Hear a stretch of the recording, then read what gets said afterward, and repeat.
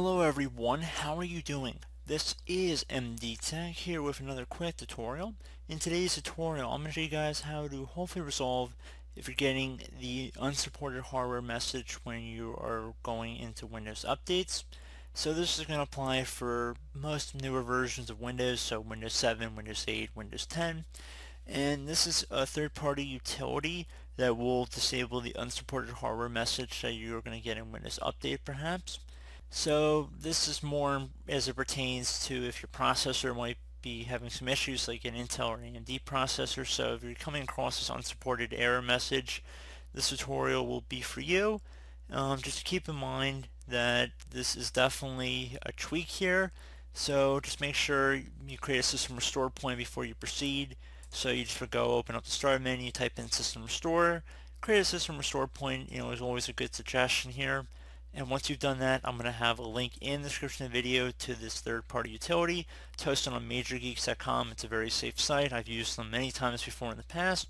And it's fairly popular download. So we're going to select just download at Major Geeks. So we're going to go right from their own servers here. We're not going to any third-party websites beyond their own site.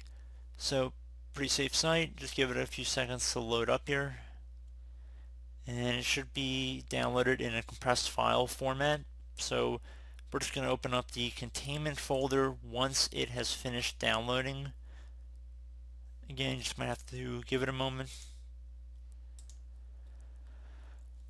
And we're going to go ahead and double click on it. Drag it over the desktop.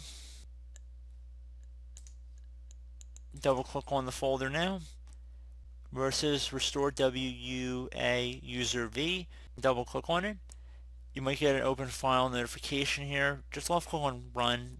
I have used this file before. It doesn't have any weird tendencies, so we're just going to left click on yes here for the registry entries here. So it's going to create a registry entry here. If you should want to continue, left click on yes. It should say the keys and values contained in this point have been successfully added to the registry.